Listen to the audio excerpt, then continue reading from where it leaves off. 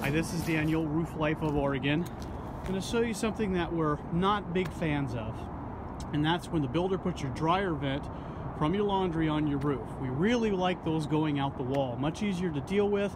The lint goes off, a little bit on the front of it that you'll need to clean off. But when it goes onto the roof, your dryer's trying to push the air and all that lint up.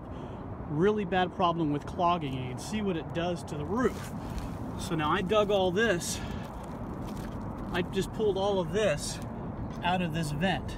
There's a flapper in here. These are really designed for bathrooms and kitchen fans where it's not pushing lint out, just warm, moist air. So there's a flapper in here that's actually not working anymore. It's kind of stuck because of all the lint that's stuck inside there. And so we really recommend not doing that. If you can have a plumber change that and go out the wall, that'd be much better.